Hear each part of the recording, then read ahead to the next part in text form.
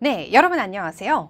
오늘은 스피킹 팁 세 번째 시간이 되겠습니다. 오늘 준비한 내용은 Why do you like it? 왜 좋으냐? 류의 그런 질문에 대해서 대답하는 방식이 되겠습니다. 왜 좋냐라고 물어봤을 때는 좀 황당한 경우가 굉장히 많아요. 좋다는데 이유가 있나요? 그 이유를 어떻게 체계적으로 될지 제가 팁을 알려드리도록 하겠습니다.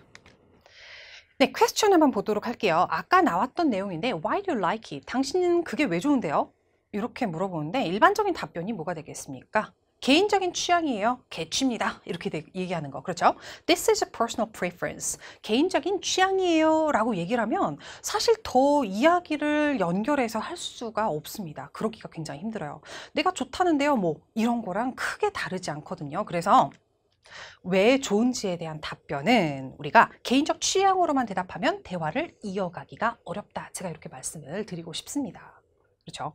그래서 왜 좋은지에 대해서 조금 더 구체적으로 우리가 말할 수 있는 방안들이 있어요. 첫 번째, 우리가 가장 잘 이야기할 수 있는 게 재미있어요, 흥미있어요, 관심있어요. 이런 류의 대답이라고 보시면 되겠죠. 그래서 why you like 또는 prefer it. 당신이 그것을 왜 좋아합니까? 왜 선호합니까? 이런 얘기인데 I guess, 음, 저는 아마도 생각해요. This is probably because 왜냐하면 I'm interested in 나는 그것에 흥미가 있어요. 어릴 때부터 뭐 좋아했고 이런 식으로 해서 여러분들이 쭉 전기를 전개를 해주시면 되겠습니다. 뭐 클럽에도 가입이 돼 있고요. 이런 식으로 얘기하시면 되겠죠. 그 다음에 It gives me a lot of pleasure. 나에게 많은 기쁨을 줘요. 이런 식으로 얘기를 해주시면 되겠습니다. 그래서 재미있다 정도로 한 가지 이야기를 해주시면 되겠고요. 그 다음에 보겠습니다. 질문에 따라서 조금씩 달라질 수는 있겠지만 팁 두 번째로 보시면요. 이득이 있어요. 그렇죠. 그래서 장점을 언급해 주시면 돼요.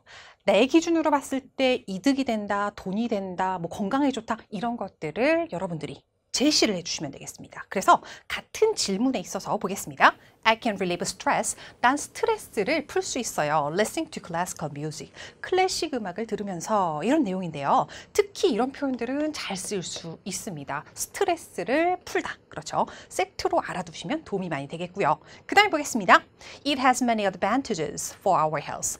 우리의 건강에 많은 이점이 있어요. 첫 째는 어떻고요? 이런 식으로 쭉 전개를 할 수가 있겠습니다. 이런 식으로 두 번째는 이득 있다. 장점 언급해 주시는 거 기억하시고요. 그 다음에 세 번째, 싸고 빠르고 편리하고 이런 식으로 가보시면 좋겠습니다. 즉, 현실적인 이유를 대주시는 게 가장 좋으세요. 싸다는데, 빠르다는데, 편리하다는데, 그게 왜 좋아라고 다시 반문할 그런 사람들은 없죠. 그래서 가장 현실적인 대답 한번 보겠습니다. Watching movies at home. 집에서 무비를 보는 것은 cheap and convenient. 그렇죠. 싸고 편리해요. 이런 식으로 이야기할 수 있겠습니다. 그러면 이야기를 더 전개해 갈 수 있겠고요. 그 다음에 fast, ser, uh, fast service is one of its benefit. 빠른 서비스가 그것의 장점 중에 하나입니다. 서비스가 빨라요. 이런 것들죠. 패스트푸드의 장점 같은 거 얘기할 때 말할 수 있겠네요. 그 다음에 most of all, 무엇보다도 is reasonably priced. 약간 세련되게 표현한 건데 싸요, 칩 요거보다는 가격이 굉장히 알맞게 형성이 돼 있어요. 이런 식으로 보시면 되겠습니다. 그래서 이런 표현들도 세련된 표현이니까 하나씩 알아두시면 되겠습니다. 이런 식으로 세 가지를 제가 꼭 말씀을 드리고요. 여러분들이 또 다른 팁 같은 것들을 제가 계속해서 이제 말씀을 드릴 건데 여러분들이 왜 좋으냐라고 물어봤을 때는요 앞에 나온 것들 전부 다 체크를 하셔서 하나씩 읊어주시는 것도 좋습니다. 단순히 그냥 그냥 좋아요.